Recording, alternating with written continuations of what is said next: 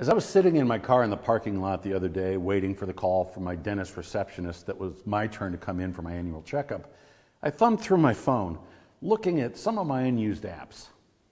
Apple Pay mocked me. I'd set it up once long ago, but forgot it was there. Why would I need that when I have my handy dandy debit card?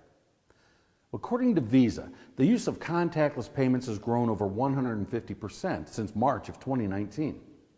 This rapid increase in use was attributed to the pandemic and ensuing lockdown as people attempted to distance themselves from one another.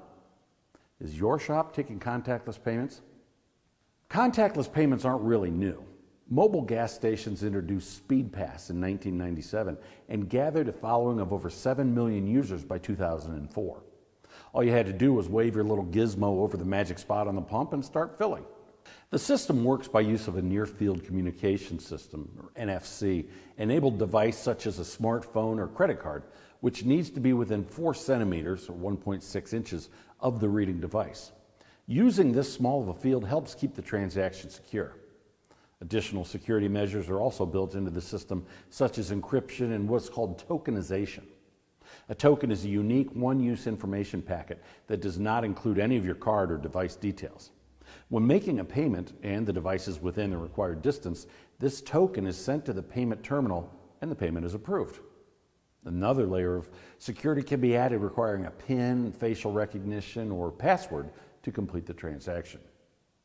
Contactless payments are very secure, and if somehow someone was able to misuse the system, customer liability is limited, which is a plus for users. Not all contactless payment systems use NFC. Bolt on Technology offers a text to pay contactless method. A text message is sent to a customer that includes a copy of the invoice along with a pay button. When the customer wishes to pay the invoice, they tap the pay button on their phone. The software automatically populates all the customer's info, including address. Customers can then scan their credit card and sign on the phone with their finger, sending the payment on its way with a single tap. The shop receives the payment and texts back a paid invoice. Whichever method you use, contactless payments offer your shop many advantages, such as a quicker payment process, cutting down the lines at the end of the day. It gives you the time to set up a customer's next appointment and discuss what they'll need at that time. Again, the systems are very secure. Using this method results in a better customer overall experience, and there are no additional charges for the shop using this method with a card processor in place. And there's protection against fraud by most banks.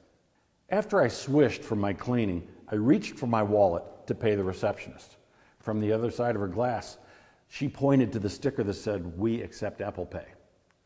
I held up my phone, and she held up a six month reminder card. I walked out with a fresh smile, a new toothbrush, and a newfound appreciation for contactless payments. I'm Doug Kaufman. Thanks for spending a couple of minutes with me.